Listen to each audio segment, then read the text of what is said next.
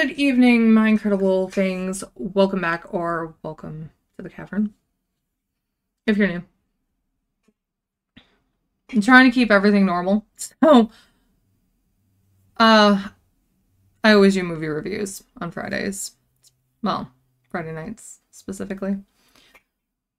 And I recently watched the controversial film They Them. I can honestly say there were aspects I liked and hated about the film. It is a horror movie surrounding conversion camps.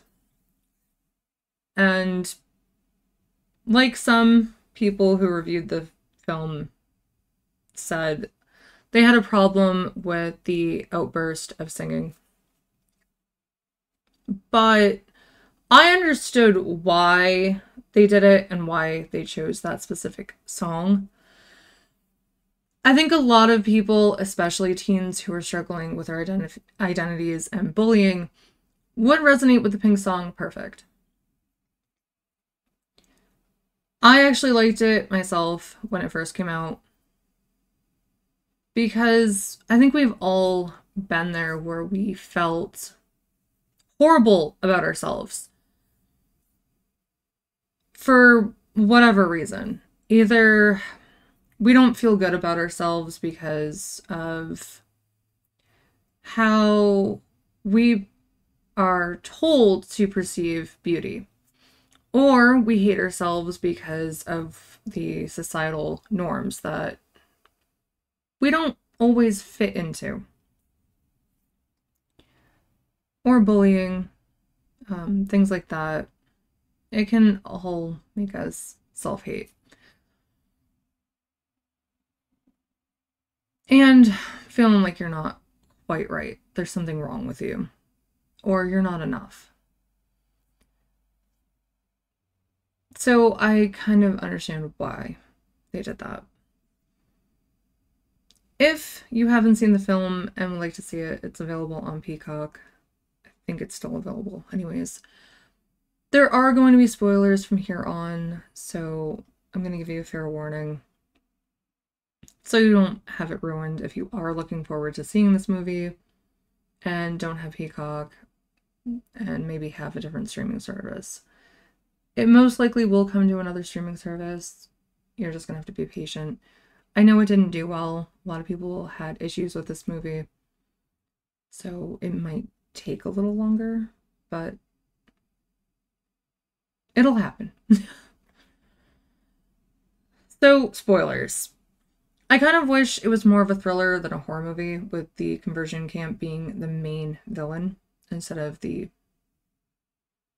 additional villain. It was really just a mess. To me, it was just too much going on. Uh, I hated the murder of the dog. That really upset me. I was hoping that it wouldn't happen. And I don't I understand why they did it. It was to show how twisted the leader of the conversion camp was and his followers. But I think there was another way they could have did it.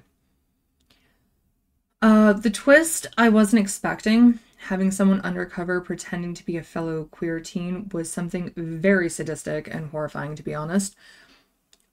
Add that to the dog, and yeah, they all need psychological help, in my opinion. I wish they kept with the conversion camp as the main villain, like I said earlier, because the leader was downright horrible and the perfect villain of the story. And they could have did that and had the teens try to survive or escape, find a way to save the others. It would have been much better, especially since conversion camps are terrible places and should be illegal, but unfortunately aren't everywhere. And in fact, a lot of these you don't even hear about, and you should. Uh, I learned about them first, I want to say I know I was in college when I first heard about them and some of the things that they do to help or fix the people trusted in their care. I am so disgusted that they are not in the news, and they should be. And they should be illegal. But a lot of these, and something the movie actually stated is accurate, unfortunately. A lot of people turn a blind eye to them because they think that they are doing a good thing, uh, which is really fucked up, to say nicely. Uh, so them adding in the serial killer to this was just way too much going on and didn't quite make sense to me. I understand why the killer was targeting the members of the conversion camp, but it was just too much.